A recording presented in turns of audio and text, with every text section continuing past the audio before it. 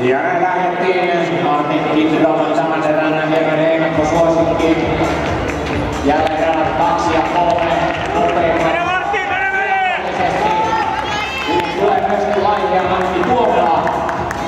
Ja erittäin tasainen vääntö jälleen kahden kärki hepun kohdalla.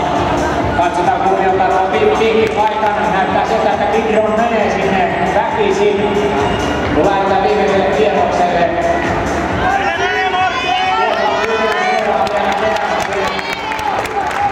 Hengittää niskaan ja viimeinen kaarre ja sitten loppu suoraan. Kumpi kestää paremmin näitä happoja.